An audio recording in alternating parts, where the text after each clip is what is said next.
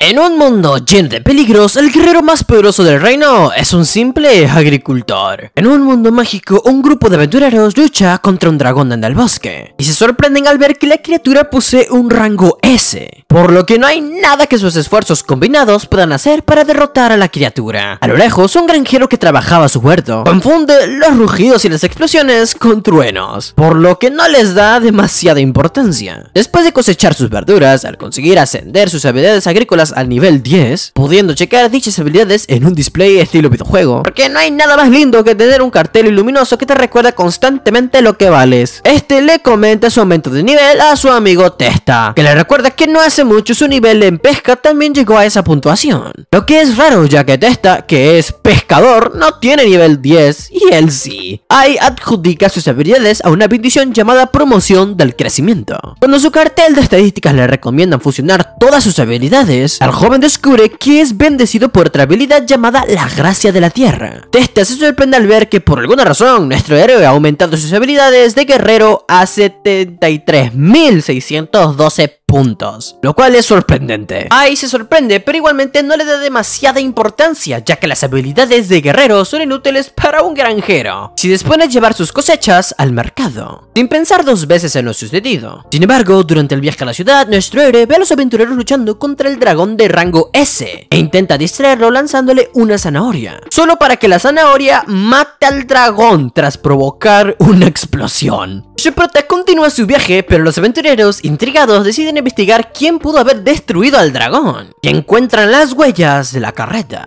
En la ciudad de Meijis, un criminal secuestra a la princesa Fal Is. Bueno, yo solamente le voy a llamar princesa Fal. Pero con las nuevas habilidades de nuestro prota, Ai esquiva los ataques del secuestrador y lo derrota, permitiendo que los guardias arresten al delincuente. Fal agradece a nuestro prota por su ayuda, pero el joven al darse cuenta que el mercado está por cerrar, sale corriendo dejándola a ella con el agradecimiento colgado. Ahí termina sus negocios, pero cuando se quiere retirar de la capital, la princesa se lo impide. Le agradece la ayuda de forma correcta y le ofrece un lugar en el castillo. Ai no quiere saber nada con la oferta, ya que odia la realeza, pero se guarda sus opiniones y rechaza la oferta respetuosamente y trata de retirarse. Pero nuevamente Fal se lo impide. Fal le explica que el secuestrador tenía más de 500 puntos de guerrero. Algo impresionante, ya que los humanos normales solo suelen tener 50. O sea, que chucha es nuestro prota?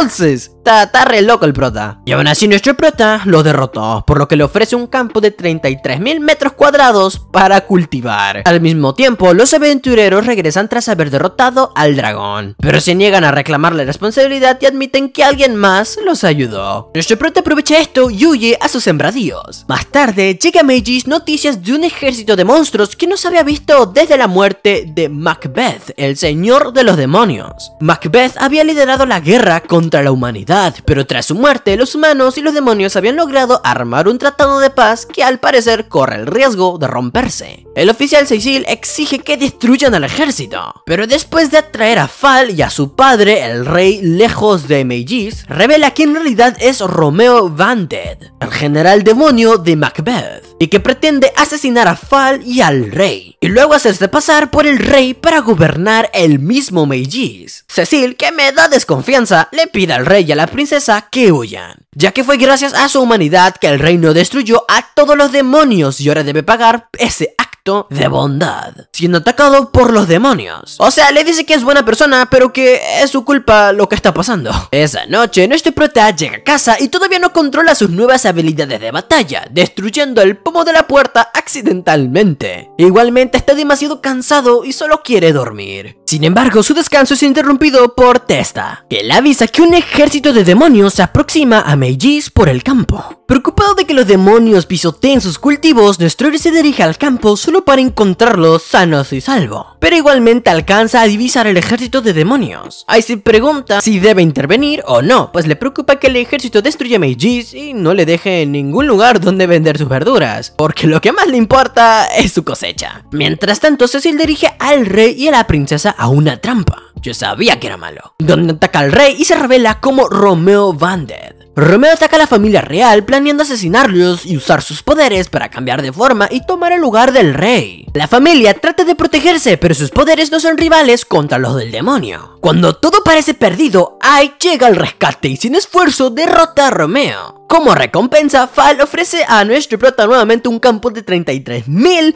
metros cuadrados para cultivar, a cambio de que se registre como aventurero para servir al reino cuando lo necesite. No teniendo demasiadas opciones, Ai acepta, pero se da cuenta de que le ha engañado cuando visita el campo y encuentra un páramo inadecuado para la agricultura. Fal, que ha tomado un interés personal en nuestro héroe, guía a este por un tour dentro del reino. Y cuando Ai le pregunta si no tiene algo mejor que hacer, o sea, trabajar, ella le responde que actualmente sus tareas como princesa son llevadas a cabo por su criada de confianza, Albei. Está disfrazada. Fal lleva a Al al gremio de aventureros y nuestro héroe le recuerda que no está muy entusiasmado con la idea, ya que lo único que quiere es ser agricultor. Ella lo entiende, pero no le da opción. Además le recuerda que no revele su identidad ante los miembros del gremio, ya que nadie debe saber que ella en realidad es Fal, y le pide que le llame Filia. Le sigue diciendo Fal porque se me hace más sencillo que ese nombre. Ai le dice que igualmente será descubierta cuando la reconozca. Después de todo, es la princesa. Más famoso que eso no se consigue. Pero ella le dice que en realidad está vistiendo un accesorio mágico que impide que la gente la reconozca. Habiendo cubierto todos los ángulos para evitar comentarios de fans quisquillosos, es hora de arrancar con la bendita historia.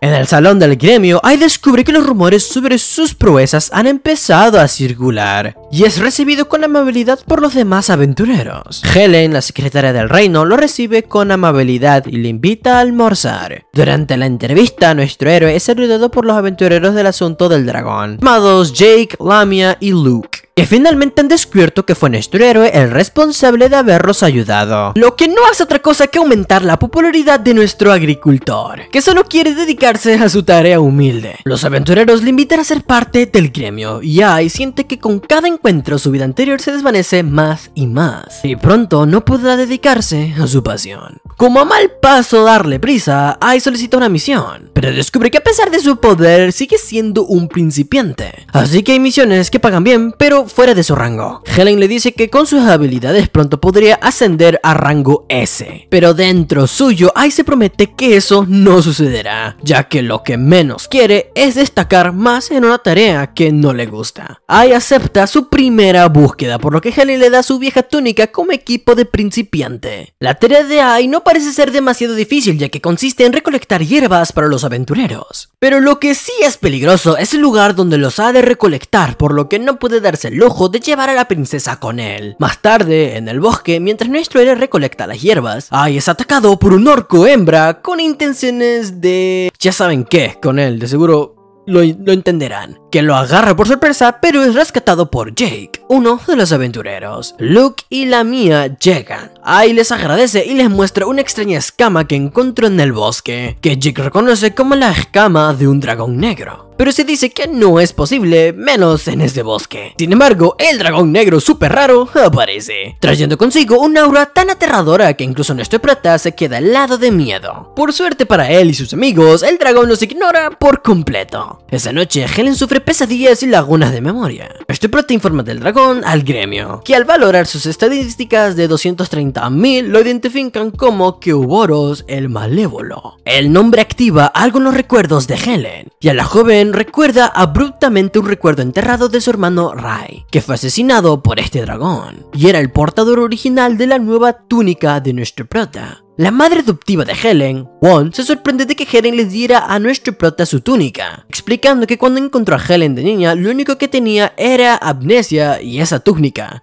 Un joven cartero llamado Riggs le entrega a nuestro prota una carta de su madre. Ahí va a la biblioteca a investigar sobre Orborus, pero los libros oficiales no le dan demasiada información, por lo que pide acceso a registros reales. Pero la bibliotecaria le niega acceso, ya que nuestro héroe no posee el rango necesario para acceder a esa información. Sin embargo, Fal aparece y ordena que la bibliotecaria le dé acceso a nuestro héroe, por lo que nuestro prota y Fal acceden a los informes del día en el que se encontró Helen, y descubren que Orboros había destruido el pueblo de esta. También se enteran de que Orboros fue supuestamente asesinado por su dragón enemigo, Mirage el Benévolo. Buscando en Onol, que es este pueblo de la chica, ahí se encuentra con Ray como fantasma, aunque Fal es incapaz de verlo. Y Ray explica que ha esperado 15 años a alguien que pudiera verlo. Ahí conversa con Ray que le explica que la capa que nuestro héroe lleva puesto es la misma que él usaba cuando estaba vivo y estaba cargada de una fuerte energía protectora. Al notar que Fal no puede ver al niño, Ai deduce que la comunicación es posible gracias a la capa, por lo que envuelve a la princesa en ella. A Fal le da vergüenza ser abrazado por nuestro héroe, pero se sorprende cuando de repente es capaz de ver a Rai producto del poder de la capa. Ray se presenta ante los dos como el hermano menor de Helen. Fal le comenta a Ray que Helen no recuerda mucho de su pasado, y su hermano entiende que pudo haber reprimido los horribles recuerdos de lo sucedido en su pueblo, pero también les advierte a nuestros héroes que la joven podría estar en peligro. Hace 15 años, Ray y Helen vivían en Onol, donde el niño soñaba con convertirse en un guerrero capaz de proteger a su hermana.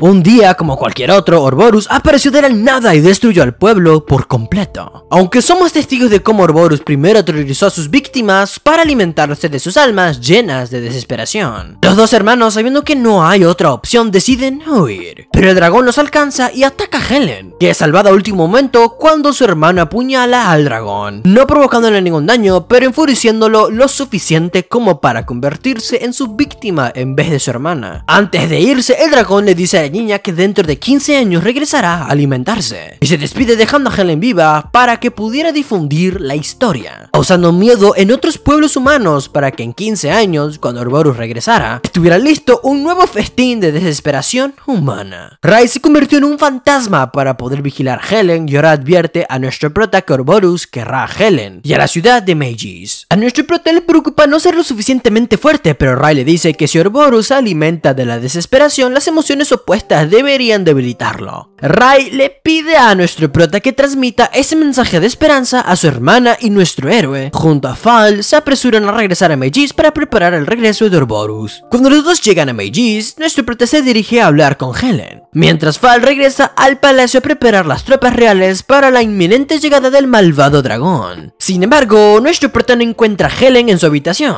ya que la joven ha tenido un sueño donde se reencuentra con Orborus, que le recuerda los eventos de su niñez, el ataque al pueblo y la muerte de su hermano. Además de avisarles que pronto llegará al reino para alimentarse de las almas asustadas de las personas. Helen, impulsada por sus recuerdos de la muerte de Rai, se enfrenta a Orborus en el bosque para ofrecer su vida a cambio de Meijis. El dragón acepta el sacrificio de la joven, pero se burla de ella, asegurándole que eso no afectará sus planes, ya que una vez muerta, irá a alimentarse de las personas del reino. Nuestro prota encuentra a Helen antes de que pueda quitarse la vida y un furioso Orborus lo golpea, lanzándolo contra un árbol. Por suerte, nuestro héroe sobrevive gracias al poder protector de la capa de Rai. Nuestro prota se recupera y cuando Orborus lo desafía como guerrero, él le recuerda que en realidad es un agricultor y golpea a Orborus con tanta fuerza que le hace daño. El dragón se pone en pie habiendo aprendido la lección de no subestimar a nuestro héroe y lo ataca con fuerzas. Cuando Helen le pide a nuestro prota que huye, el agricultor le dice que la protegerá, recordándole así las últimas palabras de Rai. Nuestro prota y Orborus luchan y a pesar de que los poderes del dragón han disminuido, lo mismo resulta ser un desafío para nuestro héroe que se esfuerza en la defensiva. Nuestro prota decide huir junto a Helen que se siente culpable por la muerte de su hermano. Pero a nuestro chico le pasa a Helen un mensaje de Rai en el que le dice que su muerte no fue culpa suya y que debe perdonarse a sí misma. El alma de Helen se llena de esperanza, un veneno mortal para Orborus. El dragón, cuyas estadísticas caen en picada, ataca a nuestros héroes, pero es recibido por nuestro prota con un puñetazo que lo deja inconsciente. Nuestro prota celebra su victoria cuando Helen se acerca a él y para sorpresa de nuestro héroe, clava un cuchillo en su estómago, hiriéndolo mortalmente, mientras muestra una sonrisa siniestra. Ataque de Helen toma por sorpresa a nuestro héroe, que no pudo utilizar ni sus pociones de recuperación ni su propia magia para recuperarse, ya que los ataques de la joven son demasiado rápidos para permitirle concentrarse. Cuando Helen está por dar el golpe final, nuestro prota es salvado abruptamente por Mirage, el dragón benevolente, quien revela que Helen está poseída por Orborus, y así le otorga a nuestro prota su magia de purificación para curar su herida, quedando debilitado en el proceso. Por lo que el dragón se recuesta un rato a tomar un poco de aire mientras Ai termina de realizar el trabajo. Mientras tanto en el castillo, una temerosa Fal organiza las tropas, poniendo al resguardo a la gente de la ciudad y organizando las tropas para acabar contra el temido dragón, aunque sabe que en el fondo sus esfuerzos podrían ser inútiles. Orborus confía en que nuestro prota no atacará a Helen solo para que este le sorprenda con un poderoso golpe. El dragón no puede creer semejante acto de agresión, pero Ai le revela que Helen se había comunicado con Al usando sus ojos, dándole permiso de hacer lo necesario con tal de eliminar la amenaza del dragón, e incluso destruirla. De esta forma, Orborus abandona el cuerpo de Helen liberando a la joven aventurera.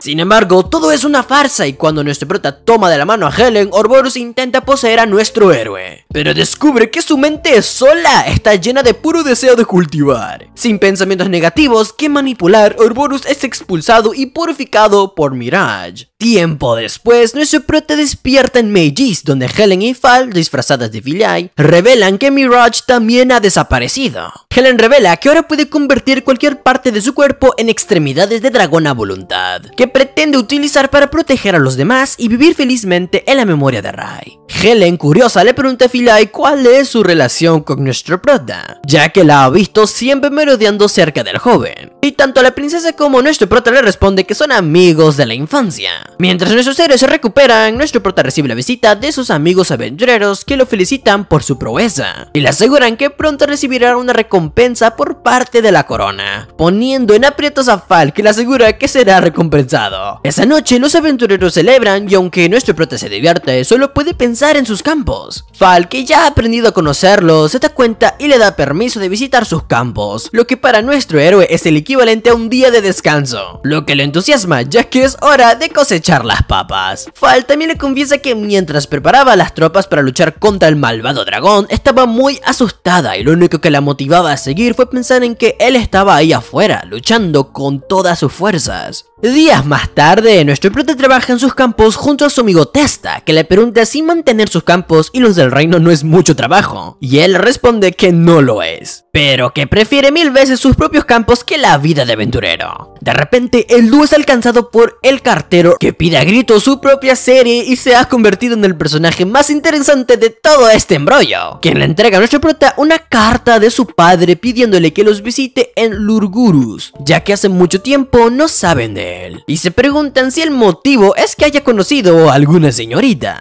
Nuestro prota no se anima a abandonar sus obligaciones con la corona, por lo que decide no ir a visitar sus padres, pero después de un viaje al mercado y probar unos tomates de Lorgurus, se decide por ir, ya que Lorgurus es famoso por su agricultura y su excelente fertilizante. Helen le concede a nuestro prota unas vacaciones y se hace cargo de sus misiones activas, revelando con sus extremidades de dragón que ahora es una aventurera de rango F. Fal se entera del viaje de nuestro héroe y le pide a este que le permita acompañarlo a conocer a sus padres para así agradecerles en nombre de la corona todo el trabajo que su hijo ha hecho por ellos. Pero temiendo que llevar a una chica a sus padres puede causar malentendidos. Ahí se marcha rápidamente, solo dejando a la princesa con la palabra en la boca. En su viaje, nuestro prota es casi atacado por un orco macho enloquecido por la lujuria, que al parecer es su debilidad, porque dragones y monstruos no hay problemas, pero orcos en celo, eso sí lo afecta. Cuando el orco está por digamos, oficializar, nuestro héroe es rescatado último momento por una joven de cabello azul. Después de rescatar a nuestro prota, la joven le pregunta si está bien y el traumado joven le responde que está todo bien y que odia a los orcos. Aunque como ha quedado demostrado, el sentimiento no es mutuo, ya que por alguna razón los orcos lo aman a él. Cuando la aventurera le pregunta qué hace solo en un lugar tan peligroso, él le responde que es un aventurero y ella también se presenta como una.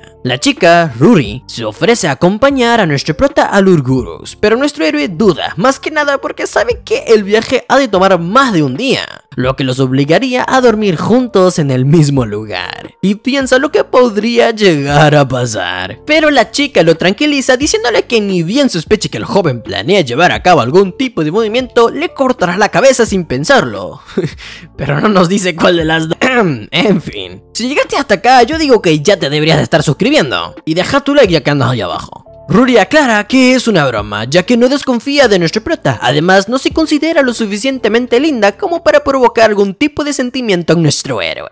Cuando Ai lo corrige diciéndole que en realidad es una bella mujer, Ruri le agradece el cumplido, aunque está convencida de que si lo dice es solo por amabilidad. Nuestro prota piensa cómo explicarle que no lo dice por amabilidad, pero no encuentra el modo de decírselo que no empeore las cosas. Así que los dos continúan el viaje hacia el Urgurus. En el camino, nuestra chica detecta una presencia acercándose a ellos a gran velocidad, y los dos aventureros se ponen en guardia. La figura resulta ser nada más y nada menos que nuestro cartero favorito, Riggs, que de alguna manera logró encontrarlos, y les hace entrega de otra carta de la madre de nuestra prota. Riggs se retira y cuando Rory se preocupa de que la carta sea urgente, nuestra prota la tranquiliza y le muestra la montaña de cartas que su madre le envía constantemente, y le comenta que esa es la razón por la que está viajando al Urgurus. También le explica que uno de sus motivos es de conseguir abono del Urgurus para poder plantar tomates dulces, pero la aburre rápidamente ya que la joven es una aventurera, no un agricultor como él. Cuando nuestro prota le pregunta qué opinan sus padres de que ella viaje y sea aventurera, Ruri se entristece por esto ya que, bueno, su familia no se preocupa por ella en lo absoluto. Ruri acampa revelando que su bolso puede contener numerosos objetos grandes a pesar de su pequeño tamaño, sacando de ella una tienda de campaña.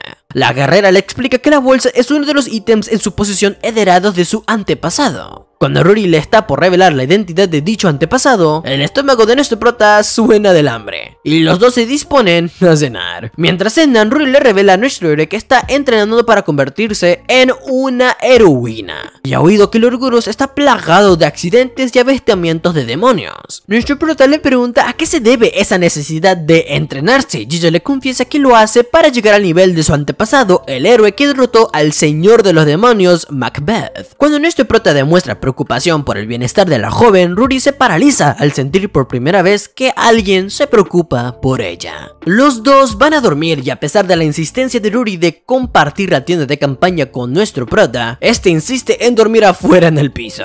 Ella se da por vencida y se va a dormir. Pero asusta a nuestro prota diciéndole que los orcos podrían visitarlo por la noche. Y de una vez por todas logra que se meta en la dichosa carpa. Al otro día, al llegar al Urgurus, Rui se entristece por su separación. Por lo que nuestro prota le pide que la acompañe de nuevo a casa en una semana. Esta le pregunta a los habitantes de la ciudad si han habido avistamientos de demonios. Pero nadie parece saber de qué está hablando. Por lo que la joven cree que ha recibido información falsa. Temiendo decepcionar a su antepasado, la joven decide investigar más a fondo cuando conoce a una campesina que le pide ayuda, ya que su hermana fue secuestrada por un demonio y llevada al bosque de las ilusiones. Ruri sale corriendo al rescate mientras un misterioso hombre observa a lo lejos. Al visitar a sus padres, su madre, que no diré su nombre porque cuesta un montón, un ama de casa excesivamente cariñosa, y su padre, Gillis, un granjero musculoso. Sin embargo, la reunión es un poco accidentada, cuando el padre de nuestro héroe no reconoce a su hijo y cree que es alguien que está abrazando a su esposa y lo golpea para luego ser él el golpeado por la mujer. Después de solucionar el malentendido, la familia se dispone a cenar. Pero al solo mencionar a Ruri, la madre se vuelve loca, afirmando que nuestro prota es demasiado joven para las chicas, el matrimonio y los bebés, castigando cómicamente tanto a nuestro prota como al padre. Hilly sospecha de Ruri, ya que definitivamente no hay accidentes ni avistamientos de demonios en Lorgurus. Además, el hombre está seguro de que si en realidad existiera en el pueblo el sufrimiento que Ruri dice que existe, su madre se habría dado cuenta. Esto le da curiosidad a nuestro prota, quien no entiende lo que su padre quiere decir. Pero el hombre le cambia de tema y lo manda a dormir. Después de comprar su abono, nuestro prota observa cómo un hombre ha sido herido por el ataque de un demonio. El hombre le afirma que una joven de pelo azul le salvó la vida, pero desapareció en el bosque de las ilusiones. En el bosque, nuestro prota se reencuentra con Rory tras ser rescatado por unos gusanos gigantes. El hombre aparece sonriendo, revelando que los ha manipulado con una poderosa magia de ilusión. incluso trajo a Ruri al Urgurus en primer lugar con falsos rumores de demonios, ya que sabe que ella es descendiente del héroe. El hombre se burla de Ruri por haberse dejado engañar tan fácilmente y le asegura que no es material de heroína. Cuando nuestros héroes exigen que se identifique, el misterioso hombre se revela como Loki de Eva, o como se diga, y sus ojos cambian de color. Cuando la chica le pregunta por qué involucró a nuestro prota si el objetivo era ella, Loki afirma que nuestro prota también es parte de su plan. Loki demuestra que reconoce a nuestro prota por sus hazañas de haber derrotado a Romeo y al dragón Orborus. Este le pregunta si es cómplice de las dos criaturas, y Loki le afirma que no lo es y hasta le ofende ser comparada con cualquiera de los dos. Cansada de tanta charla, nuestra chica se abalanza espada en mano contra el misterioso enemigo, y no queda un golpe a Ruri. Cuando Al usa sus poderes de curación con Ruri, Loki se lamenta de no haberlo atacado a él primero. Esta pide disculpas a nuestro prota por no haber podido derrotar al villano, pero este va al ataque confiado de que sus habilidades de agricultor son mejores que la de un guerrero. Lo que esquiva el ataque de nuestro prota y le da un golpe fulminante, que deja solo un cráter en la tierra. Sin embargo, nuestro prota emerge del cráter intacto y logra que uno de sus golpes impacte en el rostro del villano. Sin embargo, esto no es suficiente para derrotarlo, por lo que Loki le responde con un golpe de igual potencia, que lo manda a volar por los aires. Nuestro prota observa cómo Loki cura sus heridas y el villano entiende el poder del joven y por qué ni Romeo ni Urbarus fueron capaces de derrotarlo. Aunque también admite que ninguno de los dos lo hubiese logrado, ya que solo eran peones a diferencia de él. Mientras Loki habla solo, Ai aprovecha para curarse, y el villano lo felicita por haber asestado un golpe, pero también le advierte que la pelea está a punto de terminar. Y nuestro héroe no tiene oportunidad de vencerle. Al le pregunta a Loki por qué lo considera importante y el villano, aunque sabe que la pregunta solo es una estrategia para ganar tiempo, decide contarle un poco de su estrategia. Loki le revela a nuestro prota que está eliminando a todos los elementos que pueden interferir con el plan siendo sus primeros objetivos él y Ruri, pero también Helen con sus poderes de dragón. Loki le revela también que Ruri al ser un héroe ha recibido los poderes del dios del bien. Loki se cansa de conversar y ataca nuevamente a nuestros héroes utilizando sus gusanos gigantes. Y los dos héroes deben trabajar en equipo para luchar contra ellos. Rory insiste a nuestro prota que huya, pero el joven se niega alegando que si se va se convertirá en el peor agricultor del mundo. Por lo que continúa luchando sin descanso.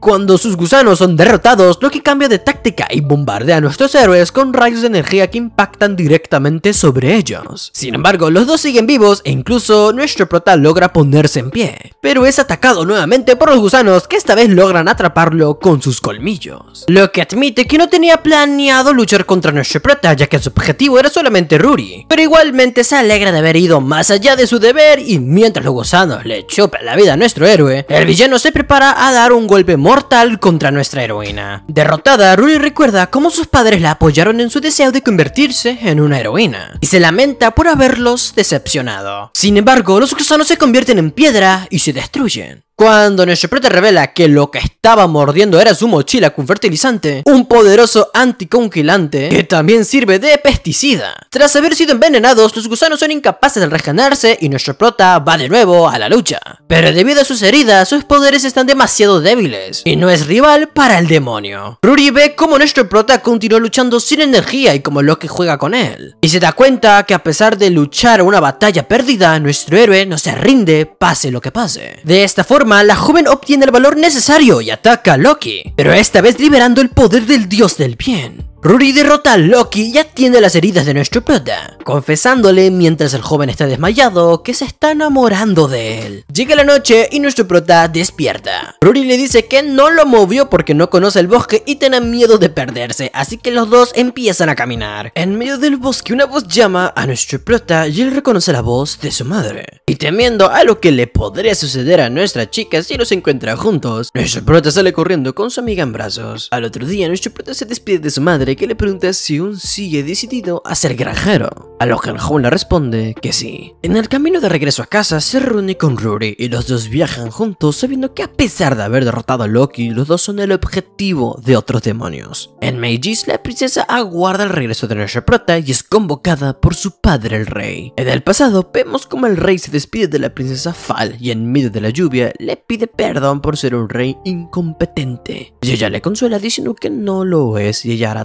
todo lo posible por ayudar. Después de todas las cosas son como deben ser. De vuelta en el presente y después de su batalla contra Loki, nuestro prota regresa a las oficinas del gremio, donde le presenta a Ruri a Helen y las dos jóvenes parecen llevarse bien, aunque en realidad es solo una fachada, ya que de inmediato las dos se dan cuenta que la otra puede ser un problema para conquistar a nuestro jardinero favorito. Más tarde en su granja, nuestro prota pilla a un chico robándole la verdura, pero en realidad no está enojado con el niño por robar su verdura, sino por sacarla demasiado pronto y ahora no serán deliciosas. Al ver que el niño tiene hambre, le da una colmadura. Helen explica que cuando nuestro prota estaba en los gurús, los demonios empezaron a atacar Meijis, perturbando la distribución de alimentos y haciendo que los precios se dispararan. Mientras tanto, en las afueras de la ciudad, las palabras de Helen se hacen realidad cuando descubrimos que la ciudad está bajo el asedio de una enorme horada de monstruos. Los guerreros más poderosos del reino e incluso nuestro prota utiliza su super fuerza para deshacerse de todos ellos. Pero la oleada es interminable. Nuestros héroes se ven rodeados y superados en número. Pero cuando todo parece estar perdido, tropas de refuerzo del reino vecino, llamado Antisburg, llegan al rescate. Y su líder, que blande una espada sagrada, consigue decirles a los monstruos que se alarguen. Los monstruos al ver la espada obedecen y sin hacer ningún tipo de problema se retiran nuevamente al bosque. La calma vuelve al reino, pero una noche Fal va a casa de nuestro prota a despedirse, diciéndole que nunca regresará. La joven princesa se aleja y nuestro héroe no entiende lo que está sucediendo. Al día siguiente, la madre del niño ladrón viene a disculparse, y para compensar le compra algunos productos y le dice que trabaja como costurera, en caso de que algún día necesite de sus servicios. Pronto en los periódicos se hace público el compromiso de la princesa Fal con el príncipe de Antisburg, pero Helen y Rory se preguntan si no se tratará de un matrimonio por conveniencia, ya que el reino le vendría muy bien tener una alianza con un reino que posee una espada capaz de ahuyentar monstruos. La joven tiene otra sospecha, ya que les parece extraño que los monstruos hayan obedecido la orden de retirarse, ya que después de todo no son capaces de entender palabras humanas. Es entonces cuando nuestro prota hace que Helen y Rory lean una carta que Lucisa, su madre, que le revela que sus investigaciones han descubierto que la espada mágica de Leviatán no tiene nada de mágico, ya que es una espada común y corriente hecha por un herrero del montón. Cuando las jóvenes se preguntan cómo es que la madre de nuestro héroe tiene acceso a esa información, descubren que ella es parte de una unidad de inteligencia de élite llamada Marioneta de las Cosa que ni su hijo sabía. De todos modos, ella afirma que Leviatán es falsa y que el que convocó a los monstruos a Meijis es solo demonio cuya amante ha sido tomada como rehén. De ahí, cuando Meijis ofreció la mano de su princesa, es a cambio de protección, cosa que nuestros héroes no están dispuestos a aceptar. El problema es entrar a Antisburg porque tienen leyes estrictas para entrar, pero Riggs Bowen es el cartero que siempre ha repartido el correo de nuestro prota. Tiene un plan. Mientras tanto, el príncipe de Antisburg, Nebulus, tiene muchas peticiones. Los demás reinos están dispuestos a darle grandes sumas de dinero o hacerle muy buenos tratados comerciales, a cambio de su protección, lo que al parecer es su objetivo desde un principio, ya que está al tanto de que la mítica espada es una falsedad. Esa noche el príncipe está orgulloso de su plan, y le dice al demonio Gazelle que ordene a sus hordas atacar otro país vecino, y así seguir aprovechándose. Pero el demonio se niega, ya que no quiere que sus compañeros demonios ataquen humanos, ya que en muchos casos sus demonios también son lastimados en las batallas al igual que los humanos. El príncipe golpea a Gazelle y le recuerda que él es quien manda, y que si se niega, su novia sufrirá el peor de los castigos. Fal aparece y es testigo de la situación, pero confunde a Gazelle con una sirviente común y corriente, por lo que reprende al príncipe por maltratarlo, pero no se da cuenta del plan del malvado joven.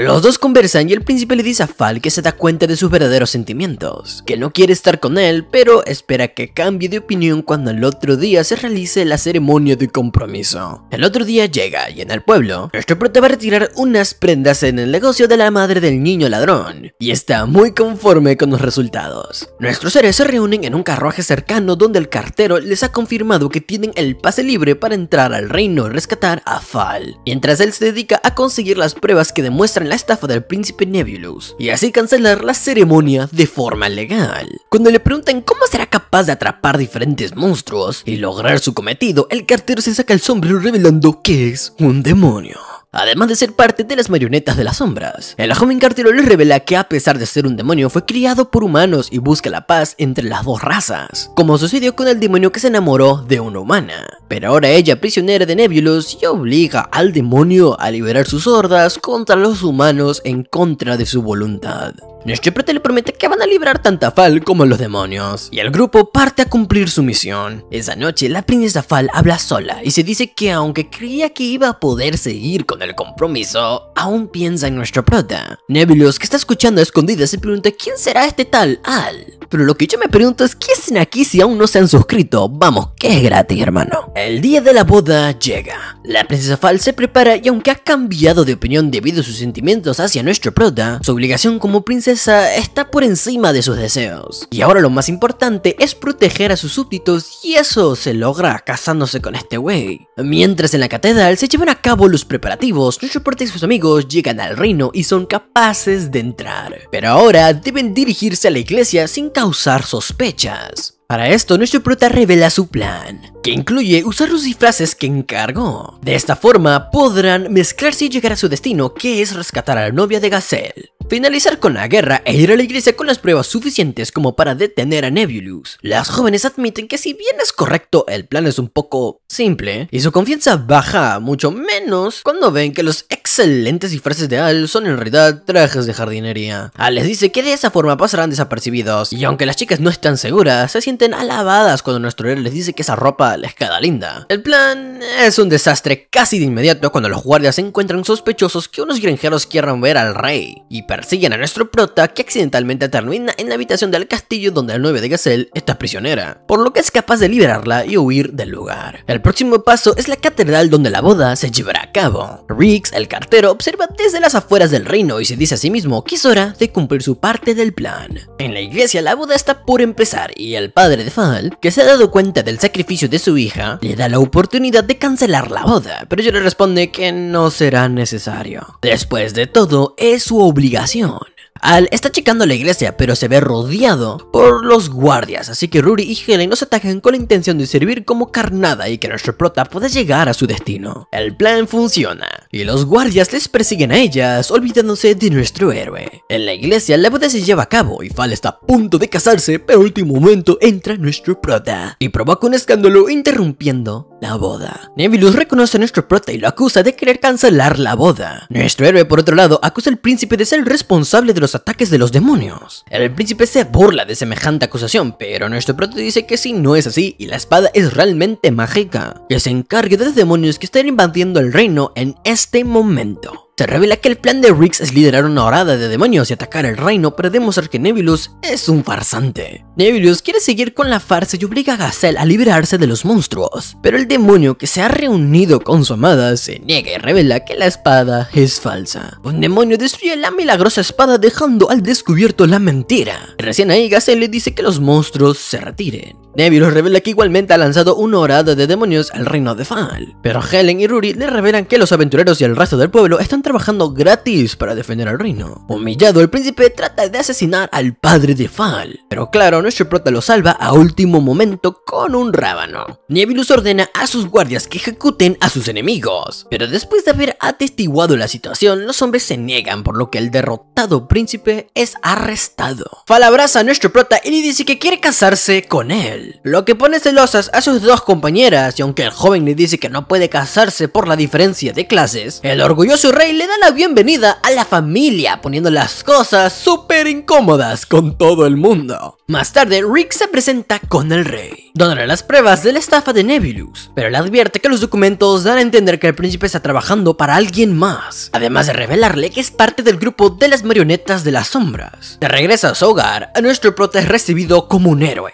la princesa llega a la oficina del gremio de aventureros con recompensas de la corona en agradecimiento por proteger al reino. Además, los aventureros le agradecen a nuestro prota ya que ahora su reputación ha mejorado un montón y les llueven ofertas de trabajo. La princesa se pone cariñosa con nuestro prota y tanto así que Helen y Rory se ponen celosas ya que ahora deben competir con una princesa que les resulta demasiado familiar. Al mejor estilo Clark Kent, la princesa se va y aparece y se presenta ante Rory, que se identifica de inmediato como su rival por el corazón del joven granjero. Más tarde, mientras nuestro prota trabaja, Fal y Rory le preguntan cuál de las dos les gusta más, pero él las ignora, dándole importancia a su huerta. Cuando Rory le pregunta si hay algo alguien más, él responde que sí. Y se aleja dejándolas asombradas. Luego, nuestro prota deja sus mejores verduras en una mesa frente a una foto donde él está abrazando a una misteriosa muchacha. Bueno, bueno, ahora vamos a retroceder 15 años en el pasado de nuestro prota, que incluso de niño es súper eficiente como joven granjero. La mamá de nuestro prota se enfada con el padre del joven ya que piensa que el hombre obliga a su hijo a hacer todo el trabajo pesado, lo que lo mete en problemas, aunque no es así. Cerca de allí un par de granjeros se enfadan porque han cogido a la pequeña huérfana ladrona llamada Livia, o Ilvia, o sepa, porque les ha robado demasiado. Ella consigue escapar de vuelta a las montañas. Nuestro prota la sigue y le deja comida. Si bien al principio ella se muestra racia, pero cada día nuestro prota viene a visitarla y la alimenta con comida mientras ella se va abriendo poco a poco. Los dos jóvenes se hacen amigos y comparten el almuerzo, pero un día la suerte se acaba y los granjeros no tardaron en atraparla. Los granjeros han decidido venderla como esclavo para recuperar las pérdidas, lo que nos lleva a pensar en cuánto pudo haber robado, o en todo caso, cuánto sale un esclavo en ese mundo, porque en este ya está muy caro. Me van a.